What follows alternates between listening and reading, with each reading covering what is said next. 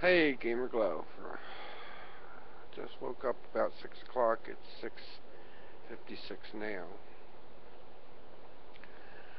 I uh, left work early today because I didn't feel good. Got home, uh, took a couple Advil and jumped into bed.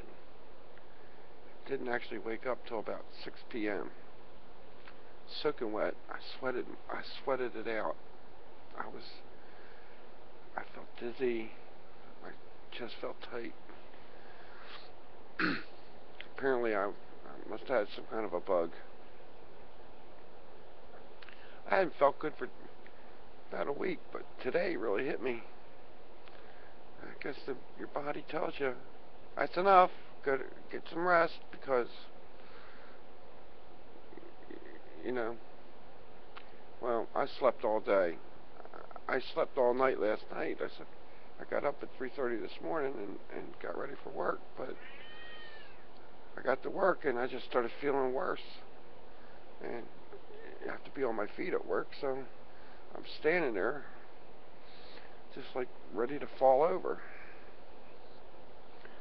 As a matter of fact, when I punched out, I had to sit down for a couple minutes because I, I, I you know, and I had to call a cab so whatever money I earned, I spent in a cab going home. oh, I just I just couldn't take it today. It was uh, uh, unreal. Well, and you get older and you get sick. It's it's harder. It makes it harder on you. Anyway, I woke up. I'm feeling a little better.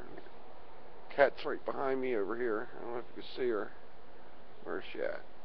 I don't know. She's somewhere back there. She curled up with me in bed when I got home. I, I didn't even take my clothes off when I went to bed. I, I, I just got my shoes and all. I just got right into bed. Usually I change my clothes into, you know, something that I wear around the house, not the clothes I wear to work. Well, anyway, I'm feeling a little better. So I think I'll be okay. Glow. Thanks, folks.